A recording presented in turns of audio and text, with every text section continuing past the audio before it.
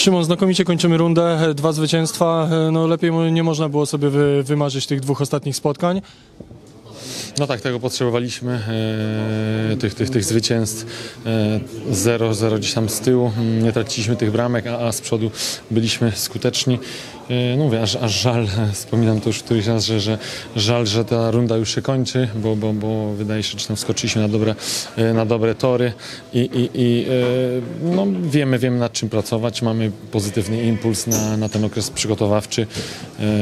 Troszeczkę musimy teraz odpocząć, a, a później już, już mocno, mocno pracować, bo jeszcze dużo, dużo ciężkich zadań przed nami. Dzisiaj e, szczególnie bardzo dobrze e, funkcjonowała obrona, no znakomicie e, rozbijaliśmy wszystkie ataki, ataki Górnika, a poza tym zabójcze kontry, no i stałe fragmenty.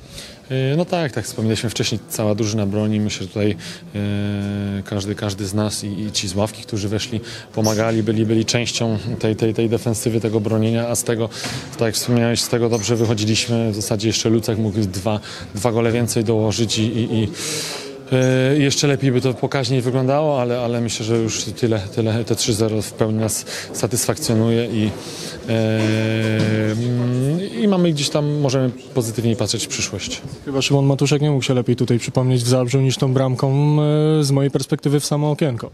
E, No, ważne. E, Tak, tak, dziękuję bardzo. No myślę, że tutaj każdy, każdy gol. Długo czekałem przede wszystkim w barwach miedzi na tą, na tą bramkę.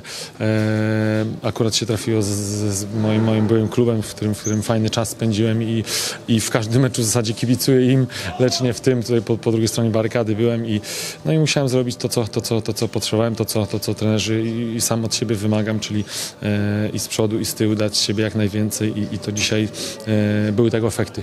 Dziękuję Szymon i gratulacje. Dziękuję bardzo.